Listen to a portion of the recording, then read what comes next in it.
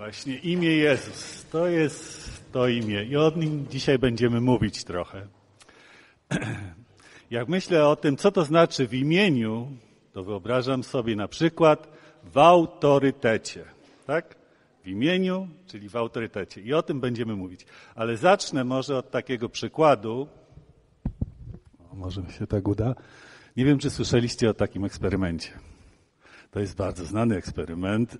W XX wieku był zrobiony Stanleya Milgrama. Może brat słyszał? Andrzej? Nie? Okej. Okay. O co chodzi w tym eksperymencie?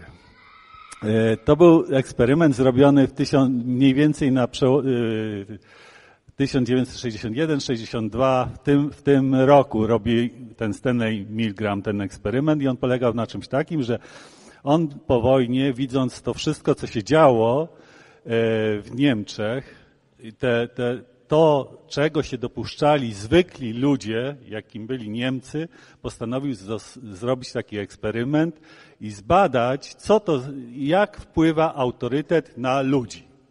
On był Amerykaninem, chyba już był. I w każdym razie to, co zrobił, to wybrał jakąś przypadkową grupę osób, i ten eksperyment polegał na czymś takim, że z jednej strony był jakiś taki człowiek w białym kitlu, który, ten, który jakby reprezentował autorytet, nie? który jakby był, był ten prowadzącym ten eksperyment. Był człowiek, który był badany, on nie wiedział, że jest badany, ale był badany i polegało to na tym, że miał jak to się mówi, zwiększać natężenie czy napięcie prądu. Tak w każdym razie chodziło o to, że tutaj z drugiej strony za ścianą był aktor, wynajęty aktor i ten aktor był jakby porażany prądem, tak? I chodziło o to, że co jakiś czas on miał coraz większą mocą porażać prądem tego człowieka. On nie wiedział, że to jest aktor. On myślał, że to jest człowiek, który ma wycierpieć i jakby chodziło o to niby, jaki, jakie, co, jaką moc prądu wytrzyma ten człowiek, nie? I ten człowiek, a ten człowiek w białym kitlu nadzorował cały to, to, to, ten eksperyment. I działo się tak, że no, na początku ten prąd nie był jakiś, więc ten aktor, który był, ten człowiek nie wiedział, nie? Że, że to jest aktor, więc ten człowiek tylko się krzywił, czy coś takiego, nie? Ale z, z czym większy było moc tego prądu, to on już zaczął krzyczeć, zaczął wrzeszczeć, błagać tego człowieka, no i ten próbował się wycofać, ale ten z autorytetem w kitlu mówi, jeszcze, jeszcze to jest mało, jeszcze to jest mało, jeszcze on więcej wytrzyma, nie? Tamten się już zwijał bólu, prosił, błagał i praktycznie wszyscy ludzie, którzy wzięli udział w tym eksperymencie, niezależnie od tego, kim byli, co wyznawali od wiary, od pochodzenia, praktycznie do końca, prawie do śmierci, porażali prądem tego człowieka. To pokazało, jaki niesamowity wpływ ma autorytet na ludzi. To było coś niesamowitego. On, ten, ten Milgram, po tym eksperymencie, to co zaplanował, to planował, że po tym pierwszym eksperymencie y, pójdzie, po, pojedzie do Niemiec, żeby zbadać, jak to w Niemczech działa, nie? Ale jak zobaczył to, co się tutaj, co się stało w Ameryce, to powiedział, nie potrzebuję w ogóle jechać do Niemiec.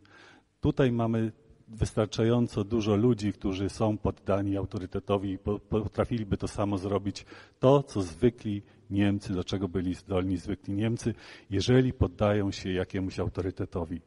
Więc tak naprawdę, jak patrzymy, to autorytet Autorytet może być zły i dobry.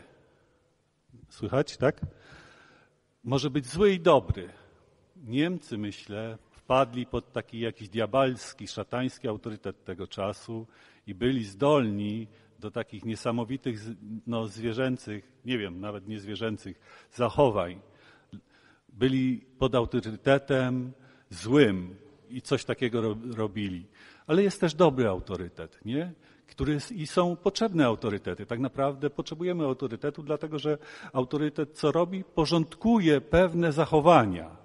czyli jest, jeżeli jest pewny autorytet, jeżeli to jest dobry autorytet, to on pomaga nam tak naprawdę żyć. Więc taka, taka jest prawda. Autorytet.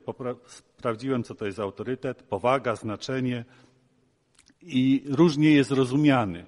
Autorytet, społeczne uznanie, prestiż osób lub grup lub instytucji, osoba lub instytucja ciesząca się uznaje, uznaniem, mający kredyt zaufania w kontaktach międzyludzkich, osoba mająca cechy przywódcze. W teorii socjologicznej jeden z typów inteligent, idealnych legitymy, legityma. No. Chodzi o to, że dzięki temu autorytetowi jakby ten człowiek ma legalną władzę, tak? Psychologii osoba, której jesteśmy skłonni ulegać, podporządkowywać się i wykonywać jej polecenia. Więc autorytet jest tak naprawdę z jednej strony czymś dobrym, nie? Ale jeżeli jedna osoba ma zbyt dużo tego autorytetu, osoba, osoba, człowiek, to to, to nie jest dobre, nie? To jest, zaczyna być coś takiego jak, jak jakiś faszyzm, nie wiem, czy jakiś komunizm się robi. Jak znowu nie ma w ogóle autorytetów, to jest anarchia, nie? Że nie wiadomo co, jak i tak dalej. Ale myślę, że my wiemy, o jaki autorytet tak na, naprawdę nam chodzi. O jest. Okej. Okay. Więc autorytet. Więc dana mi jest wszelka moc na niebie i na ziemi. Idźcie tedy i czyńcie uczniami wszystkie narody, chrzcząc je w imię Ojca i Syna i Ducha Świętego, ucząc je przestrzegać wszystkiego, co wam przykazałem. A oto ja jestem z wami po wszystkie dni, aż do skończenia świata. I zdumiewali się nad nauką Jego, gdyż nauczał ich jako moc mający, a nie jak uczeni w piśmie. I zwoławszy dwunastu, dał im moc i władzę nad wszystkimi demonami i moc uzdrawiania chorób. Oto dałem wam moc, abyście deptali po wężach i skorpionach i po wszelkiej potędze nieprzyjacielskiej, a nic wam nie zaszkodzi. Nikt mi go nie odbiera, ale ja kładę je z własnej woli. Mam moc je dać i mam moc znowu je odzyskać. Taki rozkaz wziąłem od Ojca mego. Jak mu dałeś władzę nad wszelkim ciałem, aby dał żywot wieczny tym wszystkim, których mu dałeś. I tak naprawdę, wiecie, tutaj w tych wszystkich fragmentach jest opowiedziane o autorytecie Pana Jezusa, o tym, kim On jest. I tam jest takie użyte takie słowo greckie. Zbadałem to słowo, chociaż nie znam greckiego, ale zajrzałem do słowników i te słowo Eksusja, delegowany wpływ, autorytet, jurysdykcja, wolność, władza, moc, prawo, siła. Czyli w tych wszystkich fragmentach, które przeczytaliśmy, tak naprawdę jest mowa o tym autorytecie. Pierwsze znaczenie, tam gdzie jest ta moc czy władza, to tak naprawdę chodzi o autorytet. Autorytet Jezusa Chrystusa. O, czyli wszystkie, oj, dobra, wszystkie te fragmenty mówią, Czyli dana, dana mi jest wszelki, dany jest mi wszelki autorytet. Czyli wszelki autorytet jest u Niego, gdyż nauczał ich jako autorytet mający, nie? I zwoławszy dwunastu, dał im moc i autorytet. Czyli autorytet, władzę, czyli coś takiego było przynależne Panu Jezusowi. I myślę, że jak patrzymy tak naprawdę na te fragmenty, to co widzimy? To widzimy, że tak naprawdę autorytet Jezusa jest ponad wszelkim autorytetem. Że dlaczego? Dlatego, że on ma wszelką moc, że on dysponuje wszelką mocą, że temu autorytetowi nikt, nic nie jest w stanie się przeciwstawić, że jest to autorytet ponad wszystko, ponad od stworzenia świata, ponad wszystkich ludzi, ponad wszelkie autorytety ludzkie czy jakiekolwiek moce, które istnieją. On ma wszelki autorytet. To jest absolutny, niezmienny autorytet. Jego polecenia są niezmienne, bo są za autorytetem. Jego, jego obietnice są niezmienne, dlatego że są z autorytetem. To jest autorytet, który ma wszelką władzę, moc i ponad wszelką władzę i moc we wszechświecie. Nic nie może się z nim równać. I między innymi to jest ta różnica, jaki się różni autorytet Pana Jezusa od wszelkich istniejących autorytetów. Że to jest autorytet absolutny, autorytet ponad wszelkie autorytety. I tak naprawdę nawet podczas życia tutaj na ziemi Pan Jezus był świadom tego autorytetu i powiedział, gdy mówił myślę, że rozumiemy to, nie? że autorytet kształtuje tak naprawdę też to, co jest prawdą. I on powiedział, ja jestem droga i prawda i żywot. Nikt nie przychodzi do ojca, do ojca jak tylko przeze mnie. Tak naprawdę określił to, co jest prawdą, co jest tym autorytetem. On tak naprawdę jest, jest prawdą. On sam. I tak naprawdę, jak patrzymy to, czym jest autorytet i patrzymy na Jezusa, to to kto jest dla nas autorytetem, albo co jest dla nas autorytetem, ma niesamowite znaczenie w naszym życiu. Popatrzcie, wzięliśmy ten przykład Milgrama, nie? Czy wzięliśmy przykład tego, co się wydarzyło w Niemczech, autorytet Hitlera. I do czego prowadzi autorytet? Jaki autorytet my przy, przy, przyjmiemy, to określa tak naprawdę nasze życie nasze postępowanie, określa prawdę dla nas. Kilka takich przykładów. Pamiętam jeden z takich dziwnych przykładów, zupełnie niedawno mi się wydarzył. Byłem na szkoleniu w Budapeszcie, które prowadzili Amerykanie. I był taki, tam taki pastor Wasili z Mołdawii. I ja popatrzyłem, no poznałem się, lubię rosyjsko, on jest rosyjskojęzyczny, więc pogadaliśmy sobie i tak patrzę, no taki niepozorny, mały chłopak, nie? Tak go postrzegałem. Ale potem, jak dwa lata później, czy trzy lata później pojechałem do Mołdawii. Wiecie, i poszedłem do kościoła, gdzie on jest pastorem. I patrzę, jaki potężny facet. On jest pastorem tysiącosobowego zboru. I myślę, co za duży facet. I nawet tam, jak się przywitałem, mówię mu tak, jaki ty duży jesteś, co się stało? Czy ty urosłeś w ostatnim czasie, czy nie? Rozumiecie, co się wydarzyło? że patrzymy często przez różny pryzmat i tak postrzegamy ludzi. Wiecie, że były robione takie ciekawe badania, e, że e, no, przedstawiano tą samą osobę przedstawiano go raz jako studenta, potem asystent, wykładowca, docent i, prof, i na koniec profesor. I proszono ludzi o to, żeby ocenili, jak wysocy są. I wiecie co? Jaka była różnica, zgadniecie, między studentem a profesorem? Ile? No nie, aż tak dużo nie. Sześć centymetrów. Nie? To był ten sam człowiek, ale w zależności od atrybutów jakiś autorytetu, tak różnie oceniamy ludzi. Czyli rozumiecie, można zafałszować autorytet. Czyli można korzystać z jakichś atrybutów i tak naprawdę coś, co będzie, co będzie, e, no, co, co będzie fałszywe. E, trochę się obawiam, ale powiem wam taki przykład. E, ogólnie gdzieś wyczytałem, że w szpitalach lekarze, wiecie ile razy mylą się?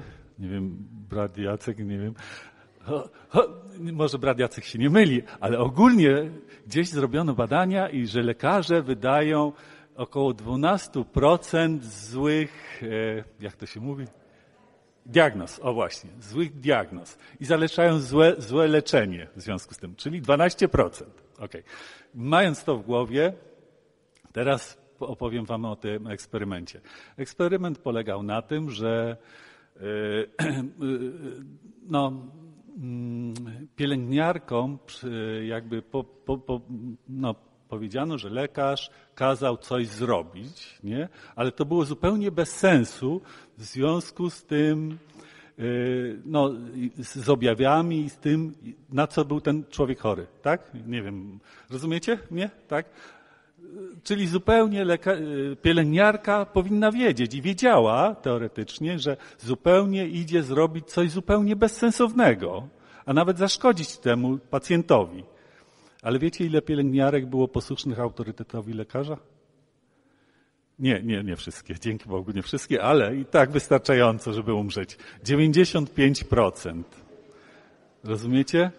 Tak działa autorytet. Tak działa autorytet. Więc w jaki sposób to jest przerażające?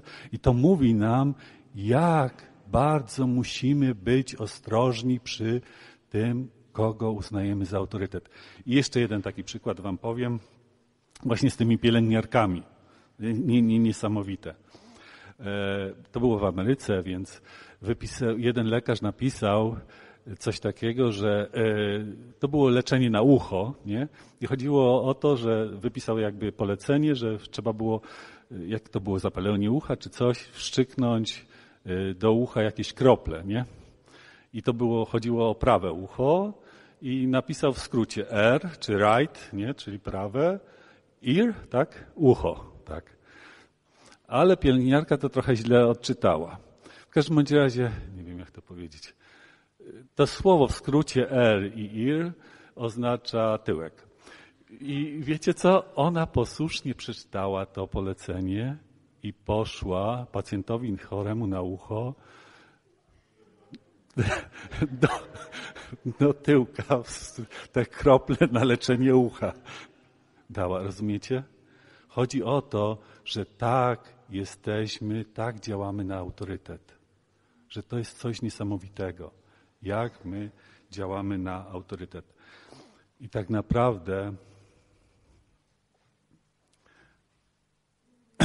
myślę, że dobrym przykładem jest Paweł, który patrzył i badał i patrzył, co naprawdę powinno być dla niego autorytetem. Ale wszystko, co mi było zyskiem, uznałem ze względu na Chrystusa za szkodę. Lecz więcej jeszcze, wszystko uznaję za szkodę wobec doniosłości, jaką ma poznanie Jezusa Chrystusa, Pana mojego, dla którego poniosłem wszystkie szkody i wszystko uznaję za śmieci, żeby zyskać Chrystusa. Co było dla niego autorytetem wcześniej? Pamiętacie, co było? Co było? Proszę? Było prześladowanie chrześcijan, ale i prawo, ale było, wiecie co nawet on tam wcześniej wymienia? O czym? On pisze, że był Żydem z pokolenia. Wiecie, to wszystko wobec poznania Chrystusa uznał za nic. Nie? On był uczniem Gamaliela, był uczonym człowiekiem. On miał autorytet. Bo komu, komu Sanhedryn mógł polecić to, nie, żeby dać mu jakieś listy uwierzytelniające? On dobrze znał się z tymi arcykapłanami ówczesnych czasów. Dla niego on był kimś w Izraelu. On to nie był taki przeciętny człowiek. A jednak to wszystko wobec tego, kim był, kogo znał, to wszystko on uznał, że to jest co? Co tu jest napisane? Śmieci wobec poznania Jezusa Chrystusa. On wiedział od momentu nawrócenia, kto był tym najwyższym autorytetem, co było najwyższym autorytetem dla niego. Inny, znamy ten fragment, nie? Bo któż jest Apollos, albo któż jest Paweł, cudzy, z których każdy dokonał tyle, ile mu dał Pan. Ja zasadziłem, Apollos podlał, a wzrost, wzrost dał Bóg. A zatem ani ten, co sadzi, jest czymś, ani ten, co podlewa, lecz Bóg, który daje wzrost. Tak naprawdę autorytet ma Bóg. I zobaczcie jeszcze jeden taki fragment ciekawy. A co się tyczy tych, którzy cieszyli się szczególnym poważaniem, czym oni niegdyś byli, nic mnie to nie obchodzi. Bóg nie ma względu na osobę. Wiecie, o kim to jest mowa? O apostołach. Nic mnie to nie obchodzi. Nic mnie to nie obchodzi, nawet takie autorytety, on powiedział, dlatego, że Bóg był dla niego najwyższym, największym autorytetem. I on chciał być przez cały czas posłuszny Bogu, nie jakimkolwiek nauczycielom. A co my robimy, aby podbudować sobie autorytet? To jest ciekawe. Wiecie, co robimy? Na przykład. Myślę, że e, korzystamy czasami z blasku różnych autorytetów. Tak jakby przybliżamy się czasami do autorytetów ludzkich i żeby się jakby od, o, ogrzać, żeby trochę tej chwały takiej spłynęło na nas. Myślę, że znamy wszyscy ludzi, którzy na przykład co robią? Opowiadają, kogo znają. Nie? A ja poznałem tego i tego, przywitałem się z tym człowiekiem. Nie, ja tam na lotnisku, ja, ja na lotnisku spotkałem Buzka, przywitałem się z nim, zamieniłem kilka słów. Nie? Rozumiecie? Ten blask tego autorytetu wtedy tak trochę nas oświeca i tak lepiej się czujemy dzięki temu, nie? Albo zdjęcie z kimś, z kimś ważnym. Czy zauważyliście to? Dlaczego robimy zdjęcia, nie wiem, z papieżem, nie? My może nie, ale, ale robimy, nie? Jakieś zdjęcia z jakimiś znanymi ludźmi. Widziałem na jednej konferencji i tak fajnie było obserwować, ja też taki jestem, ale, ale po prostu akurat wtedy mnie coś tknęło i zacząłem obserwować ludzi. Był taki ważny człowiek, duchowy przywódca i jak wiele osób tak, wiecie, tak, tak się przybliżało, żeby stanąć bliżej niego na tym zdjęciu, nie? Rozumiecie to? Tak robimy. I to, to, to, to jest nasze naturalne w jakimś sensie zachowanie. Myślę, że są inne symbole autorytetu. W świecie, może w kościele to nie działa, ale czasami w kościele działa, nie? Jakie te symbole są? Na przykład samochód. Nie, jak mam dobry samochód. Zna, znałem tak, a tak. W każdym bądź razie chodzi o to, że są pewne środowiska, nie? I to nawet osób duchownych, którzy ten jest ważniejszy, kto ma lepszy samochód. Czy to nie jest chore? Ale tak jest.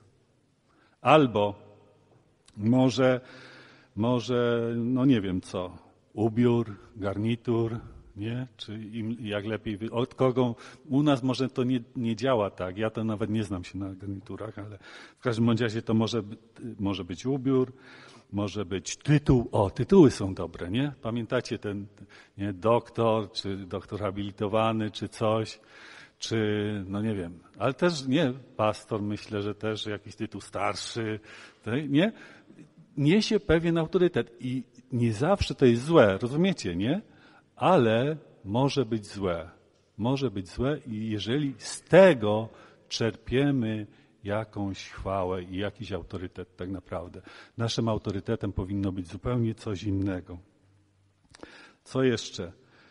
Nie wiem, o, popularność, popularność jako nauczyciel, albo na przykład wielkość kościoła. Wiecie, wśród pastorów czy, czy różnych ludzi, jak bardzo to jest chore i niszczące?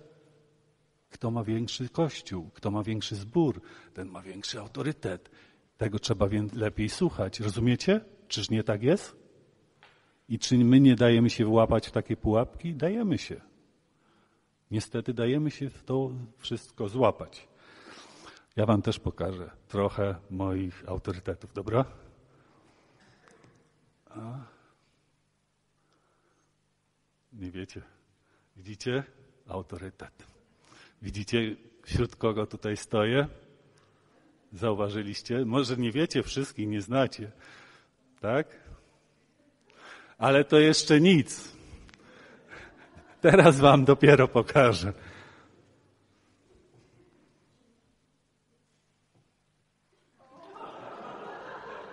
Więc zrobiłem sobie zdjęcie z Władimirem Władimirowiczem. Rozumiecie, że no widzicie, jak, jaki jestem duży? Dzięki. Ale rozumiecie, że o coś takiego chodzi, że my tak się zachowujemy. My szukamy czasami blasku, żeby coś, coś spadło na nas, żeby coś użyczyć nam. A tak naprawdę ten autorytet, ten autorytet, którego powinniśmy szukać, to, czego powinniśmy szukać, zupełnie gdzieś indziej jest. I czasami jest ciekawe, wiecie, że potrafimy się przyznać do różnych autorytetów, innych takich ludzkich i chwalić się. Nie? Gdzie byłem, co zobaczyłem, z kim się spotkałem, komu rękę uścisnąłem. A wiecie co? A czasami wstyd nam, czy boimy się przyznać do autorytetu ponad wszelkimi autorytetami. Czy zauważyliście coś takiego w swoim życiu? Że czasami wstyd nam przyznać się, a ja mam niezwykłego przyjaciela. Ja mam przyjaciela, który ma wszelki autorytet, który ma wszelką władzę, który jest ponad wszystko. Ja mam takiego przyjaciela. Chcesz, opowiem ci o nim. Nie?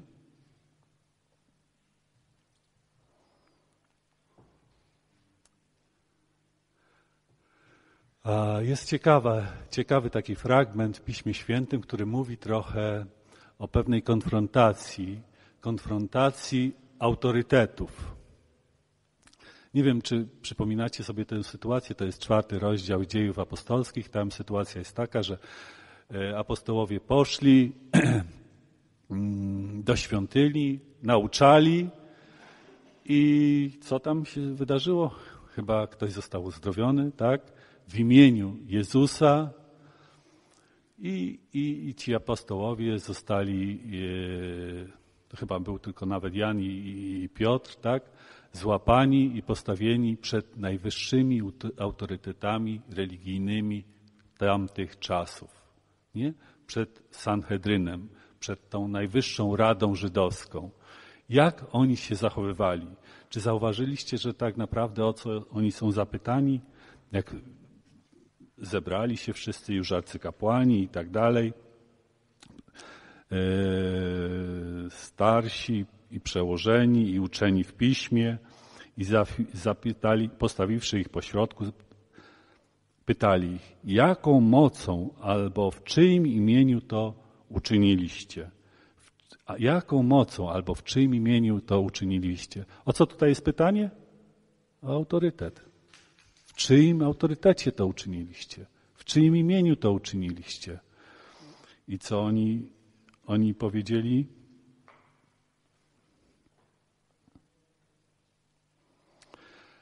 To niech wam wszystkim, od dziesiątego wersetu, to niech wam wszystkim i całemu ludowi izraelskiemu wiadome będzie, że stało się to w imieniu Jezusa Chrystusa Nazarejskiego, którego wy ukrzyżowaliście, którego Bóg wzbudził z martwych. Dzięki niemu ten oto stoi zdrów przed wami. I dalej. I nie ma nikim innym zbawienia, albowiem nie ma żadnego innego imienia pod niebem danego ludziom, przez które moglibyśmy być zbawieni. Więc odpowiedzieli bardzo śmiało. Pamiętacie, tam oni byli zadziwieni. Zobaczyli, że to są nieuczeni ludzie, a odpowiadają z taką mocą i z takim autorytetem. Oni wiedzieli, jaki autorytet reprezentują. Oni reprezentowali Jezusa, tego, który ma wszelką władzę i wszelką moc i w którym imieniu, w którego imieniu jest jedynie zbawienie, bo nie ma innego imienia, w którym moglibyśmy być zbawieni. A widząc odwagę Piotra i Jana, widząc, że są to ludzie nieuczeni i prości, dziwili się. Poznali ich też, że byli z Jezusem. I co jeszcze? Gdy, gdy zabronili im e, mówić w to imieniu, to co oni powiedzieli? Dziewiętnasty werset. Czy słuszna to rzecz w obliczu Boga raczej was słuchać, aniż e, w obliczu Boga raczej was słuchać, aniżeli Boga? Sami odsądźcie. Więc oni wiedzieli, jakiemu autorytetowi podlegają, kto za nimi stoi i kogo, komu mają być posłuszni i kogo, kogo, kogo słuchać. I ciekawe jest, że no, postraszyli, posłali z powrotem i pamiętacie, co apostołowie i inni, jak się zebrali razem, co robili? Pamiętacie, co?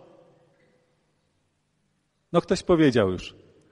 Modlili się, tak? Zebrali się razem, powiedzieli, że ich przestraszono i wtedy modlili się. I o co się modlili? Przeczytam to.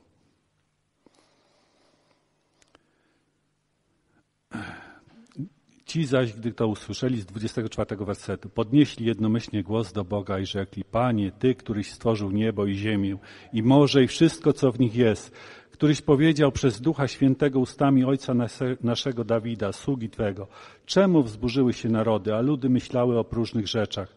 Powstali królowie ziemscy i książęta zebrali się z połem przeciw Panu i przeciw Chrystuso, Chrystusowi Jego.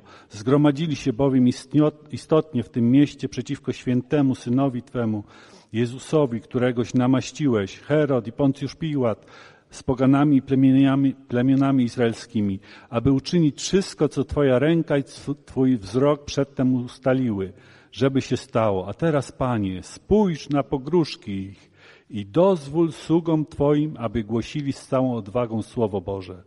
Słowo Twoje, gdy Ty, wyciągać, gdy ty wyciągać, wyciągasz rękę, aby uzdrawiać i aby się działy znaki i cuda przez imię świętego Syna Twego Jezusa. A gdy skończyli modlitwę, zaczęsło się miejsce, na którym byli zebrani i napełnieni zostali wszyscy Duchem Świętym i głosili z odwagą Słowo Boże. Więc myślę, że ciekawą rzeczą jest, o co się modlili. Zauważyliście, o co się modlili? O co? Odwagę. Dokładnie. Czyli zauważyliście, o co, o co naturalną skłonnością naszą jest modlić się w takich sytuacjach? Myślę, że naturalną skłonność jest o to, żeby się modlić, a, żeby Panie, zabierz te prześladowania. Nie? Oddal od nas te prześladowania. Ochroń nas przed tymi prześladowaniami. A może nawet, jeżeli byśmy byli bardziej odważni, osądź tych naszych prześladowców. A tak naprawdę oni modlili się o odwagę, aby wykonać to, do czego zostali posłani, aby zrobić to, o czym wiedzieli, że w imieniu Jezusa mieli zrobić. Więc oni modlili się o odwagę. Ciekawe też, że zauważyliście to, że nie modlili się, aby Bóg robił cuda. Zauważyliście to? Nie modlili się o to. Oni wiedzieli, że Bóg będzie to robił, że Bóg chce to robić. Ale wtedy, jeżeli oni z odwagą będą się przyznawali do tego, przez którego zostali posłani, przez Jezusa, do Jezusa Chrystusa. Oni wiedzieli, że Bóg będzie działał. I co się stało w wyniku tej modlitwy? Miejsce się zaczęsło, zostali napełnieni Duchem Świętym i i z odwagą głosili Słowo Boże z odwagą głosili. Czyli Bóg odpowiedział na tę modlitwę, umocnił ich przez Ducha Świętego i oni poszli i z odwagą głosili Słowo Boże. Przyznawali się do tego największego autorytetu, który, przez którego byli, który byli posłani. Pomyślałem, żeby zobaczyć tak niektóre fragmenty. A, to jest jeszcze tylko takie przypomnienie tego, o czym mówiliśmy. Niektóre, niektóre rzeczy oni tutaj używają autorytetu Jezusa. Jego, jaką mocą, w czym imieniu, czy słuszna to rzecz w obliczu Boga, raczej was słuchać, ani, raczej was słuchać, aniżeli Boga sami osądźcie. I to, o co, się, o co się modlili. Modlili się tak naprawdę o to. W imię Jezusa, w autorytecie Jezusa. Są niesamowite obietnice odnośnie tego. To jest niesamowite. Szczerze mówiąc, gdybyśmy doświadczali wypełnienia się tych obietnic, to życie nasze, życie naszego Kościoła byłoby zupełnie inne. To jest rewolucyjne te obietnice są. Myślę, że wszyscy je znamy, ale warto je sobie przypomnieć. Albowiem, gdzie są dwaj lub trzej zgromadzeni w imię moje, tam jestem pośród nich. Tutaj gdzieś siedzi Jezus. Idźcie tedy i czyńcie uczniami wszystkie narody, chrzcząc je w imię. To jest polecenie. Nie? W imię, w autorytecie.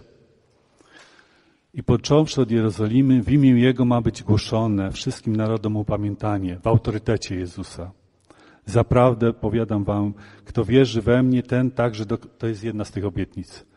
Kto wierzy we mnie, ten także dokonywać będzie uczynków, które ja czynił i większe nad te czynić będzie, bo ja idę do Ojca i o cokolwiek prosić będziecie w imieniu moim, to uczynię, aby Ojciec był uwielbiony w Synu. Jeśli o cokolwiek prosić będziecie w imieniu moim, spełnię to. Lecz pocieszyciel, Duch Święty, którego Ojciec pośle w imieniu moim, nauczy was wszystkiego i przypomni wam wszystko, co wam powiedziałem.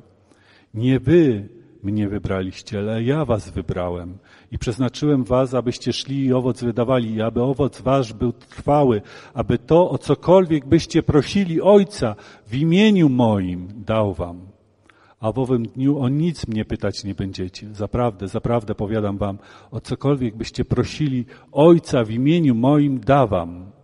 Dotąd o nic nie prosiliście w imieniu moim. Proście, a weźmiecie, aby radość wasza była zupełna.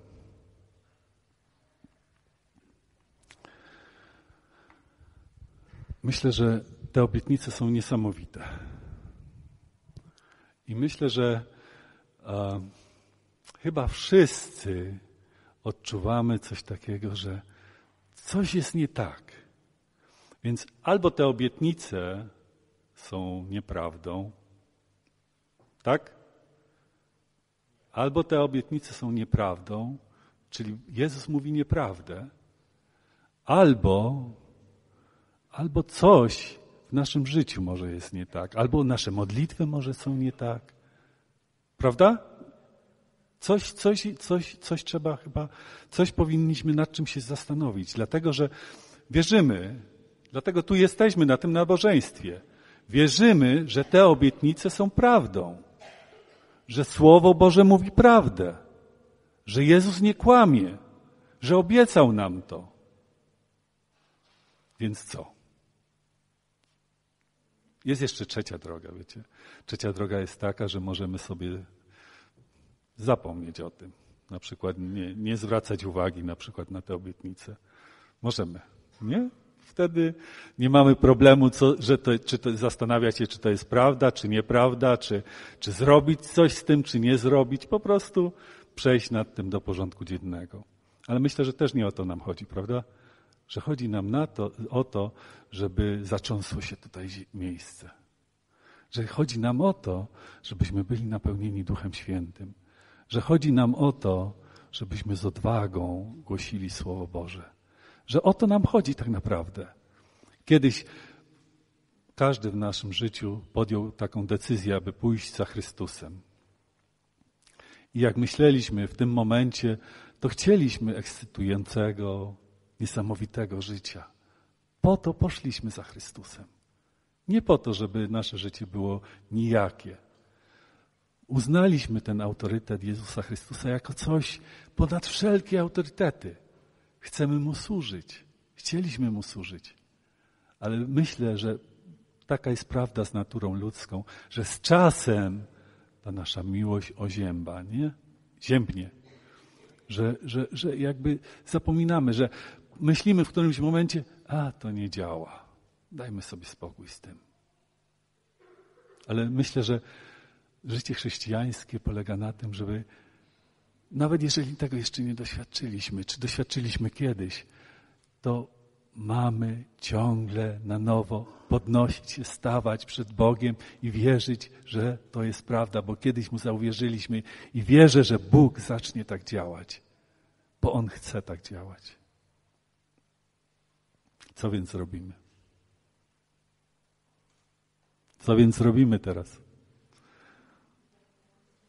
Pomódlmy się. Myślę, że na początek pomódlmy się. Pomódlmy się też i wiecie co? Myślę, że u nas nie jest źle w zborze, tak ogólnie. Bo to nie o to chodzi, nie? Ale chodzi o to, żebyśmy patrzyli z perspektywy Bożej na wszystko, co robimy, na nasze życie i na to, o co się modlimy. Ja wierzę, że całe Pismo Święte jest pełne obietnic tego, że Bóg chce działać. To nie jest tak, że On nie chce działać że jeżeli jest coś, to myślę, że być może my coś powinniśmy zmienić, stanąć przed Bogiem szczerze i wołać i prosić Go. I wiecie, myślę, że też być posłuszni. Jeżeli Bóg nam coś pokazuje w tej księdze, jeżeli to jest list w jakimś sensie dla nas, nie? Jeżeli coś pokazuje, to mamy to zrobić. Jeżeli tego nie robimy, jak on może, może działać? I jedna z rzeczy, Myślę, to jest bycie świadkami, czyli przyznawanie się do Chrystusa wszędzie. Prawda? Chcemy się przyznawać, znam kogoś takiego. Więc pomódlmy się może teraz o to, żebyśmy byli takimi dobrymi świadkami, żebyśmy z odwagą byli świadkami obecności Chrystusa w naszym życiu.